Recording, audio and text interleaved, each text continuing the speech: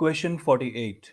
What is the difference between basic authentication and modern authentication? Basic authentication is a less secure and single authentication method where users can access an application by just providing their username and password. In basic authentication, username and password are passed in a plain text encoded with base64. Because of this reason, basic authentication was combined with SSL to encrypt the passwords.